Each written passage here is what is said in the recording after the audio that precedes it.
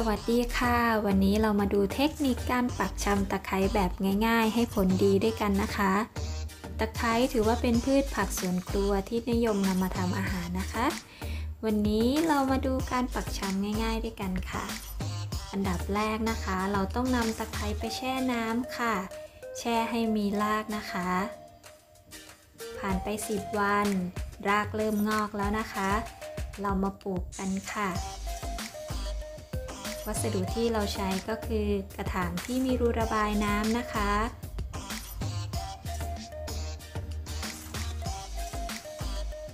ลองก้นด้วยหินภูเขาไฟค่ะ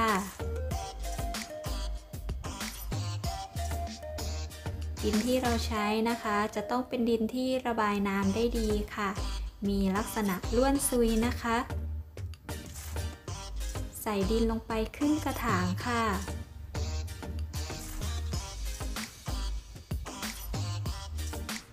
วางตะไคร้ให้มีลักษณะเอียง 45 องศานะคะ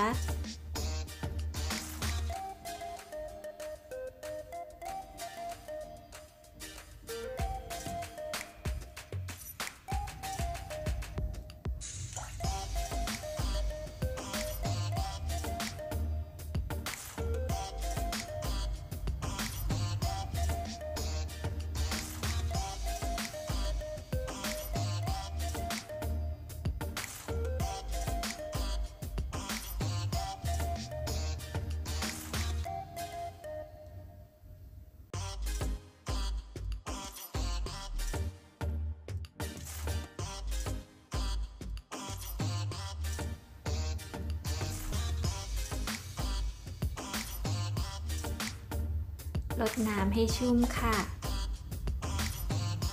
นำไปตั้งไว้นะคะที่มีแดดรำไรนะคะ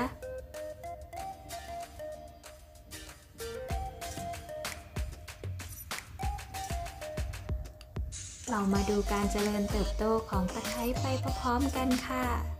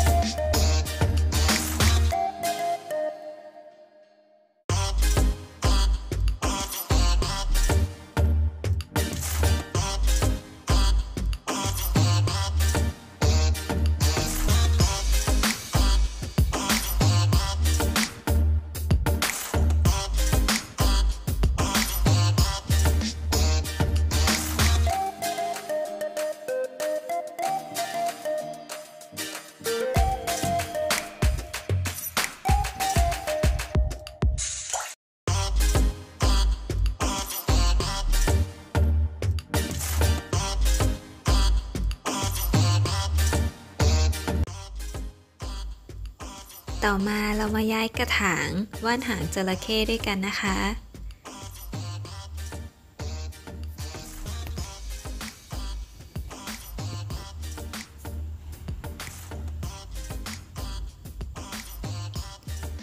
คว่ำกระถางนะคะ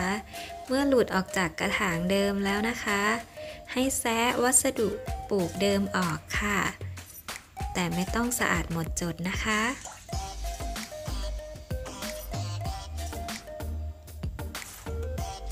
เหลือติดรากไว้นะคะ เพียงเล็กน้อยนะคะ ขึ้นอยู่กับสภาพต้นและรากค่ะ